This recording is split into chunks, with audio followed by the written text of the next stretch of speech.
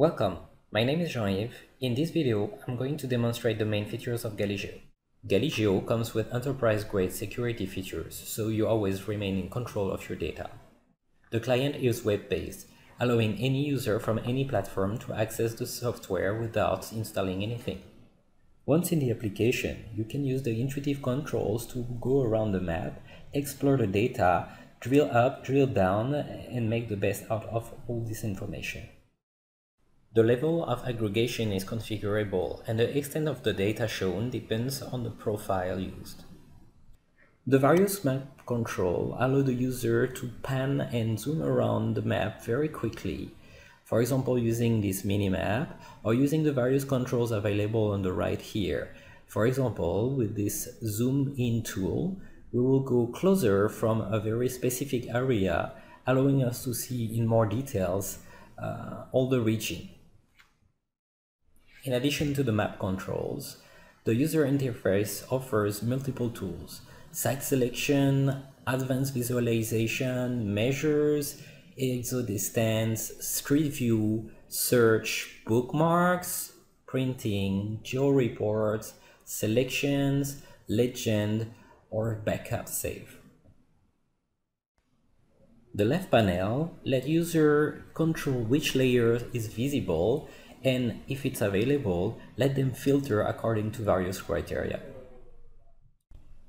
Galigeo comes with a wide range of base maps, allowing for various angles for the analysis. For example, a base map with satellite view, allowing to zoom and view in details the buildings of the area. It comes also with Bing Maps,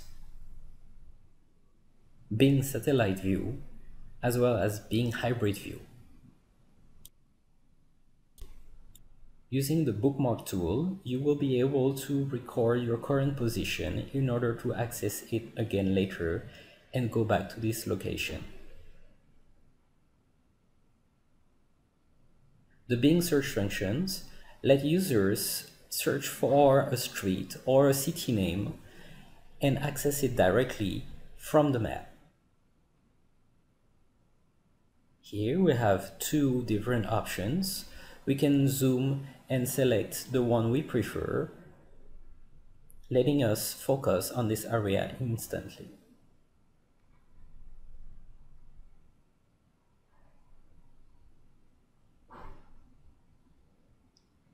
The Street View tool lets user display the Google Street View from any point on the map, as long as the location is supported. This is a very useful tool in the case of site selection, that way the user can figure out what the location looks like, where are the shops, where are the competitors.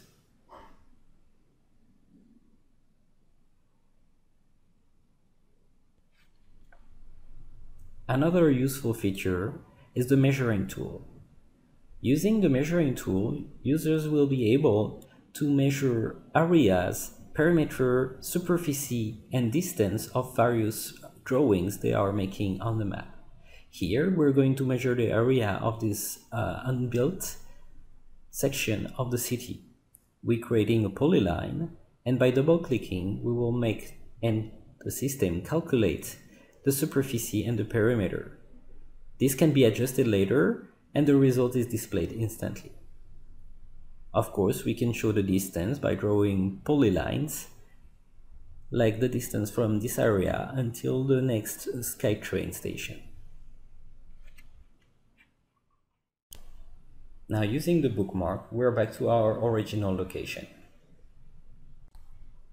We are now logged in as an author or editor user, which has the ability to edit the documents and decide which data is displayed and which way it is displayed. A thematic is a way of representing the data on the map. In this example, we are representing with a gradient of colors the various values of sales performance per area. Each value can be represented with multiple parameters, colors, stripes, transparency. By modifying these colors, we're going to modify the representation of the data on the map. Some tools help for creation of the gradient, which let users control more accurately the colors and the rendering. As you can see, the transparency level of each layer can be accurately controlled in order to choose which data to put in highlight or not. There is a great number of ways in which the data can be represented. In addition to that, we can use, for example, graduated symbols to represent the variation of some data. The graduation can be done with the color of the size of the symbol. For example, here the population. Here are a few more examples of those representations we can do. Symbols, labels, grids that we call smart grid in the case of Galigeo.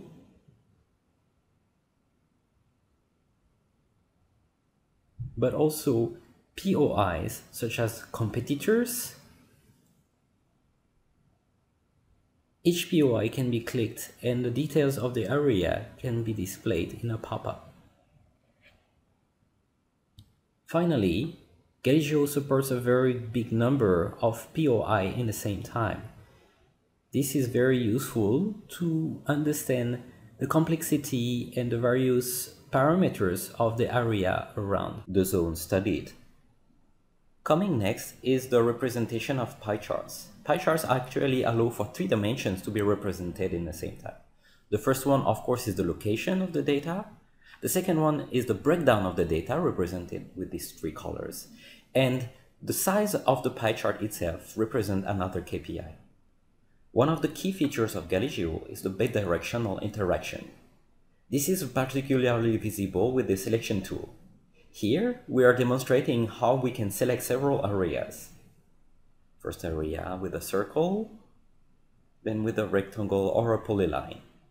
Each selection is summarized in the table that is demonstrated here.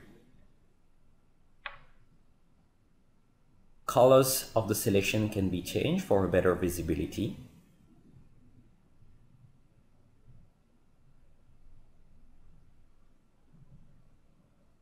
and all the data is summarized in this table, can be averaged, sum, maximized, minimized, and reordered in ascending or descending order. Selection can be merged and, more importantly, used as filter in reports. In this case, we are using the selected districts in an Excel report that is downloaded on the computer of the user. This Excel report is completely customizable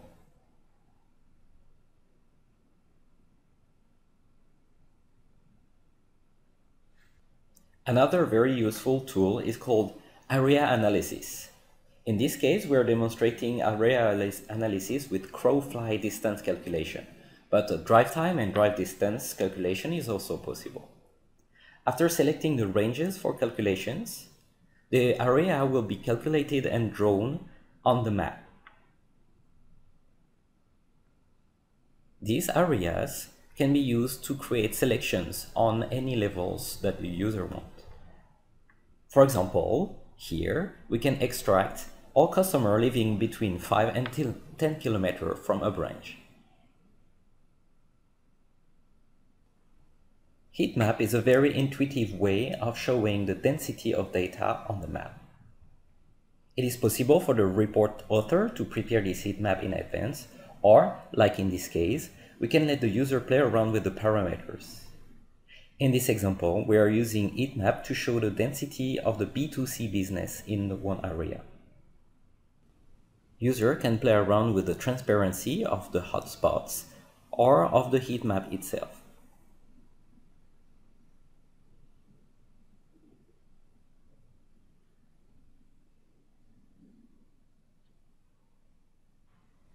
The amount of data represented can be quickly overwhelming. Multiple points can be overlapping with each other and render the visibility very low. The clustering tool helps represent this large number of locations without overlapping.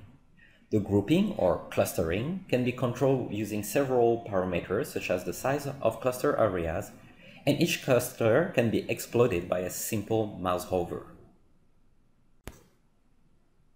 Galigeo also allows business to use location intelligence for more operational purposes.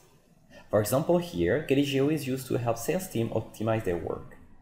A tablet optimized version of Galigeo is available for them to see where their prospects are and suggest a route from their current location to their next prospect. This application is touch enabled and can be completely customized according to the need of the business.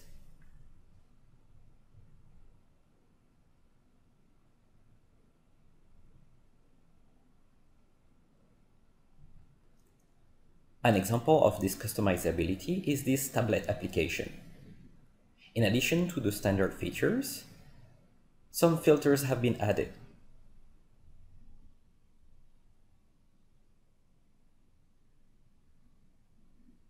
In this case here, Galigeo is interfaced with the company's online CRM. Sales representative can manage their agenda, report about their visits, and better plan their next move.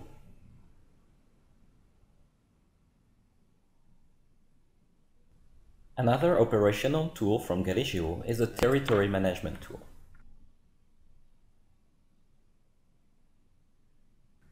The Territory Management tool has been developed to help managers intuitively design, analyze, and balance their territories.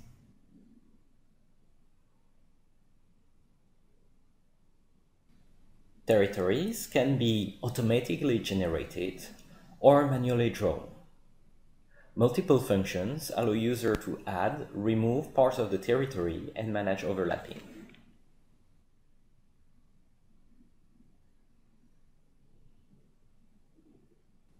Aggregated data is shown and updated dynamically for each territory during the design process.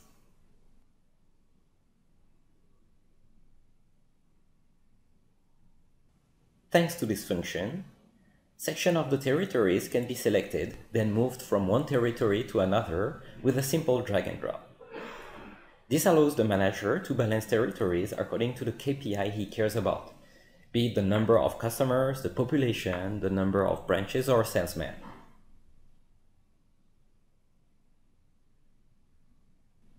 These territories could be trade areas, sales territory, delivery zones, or service areas, for example.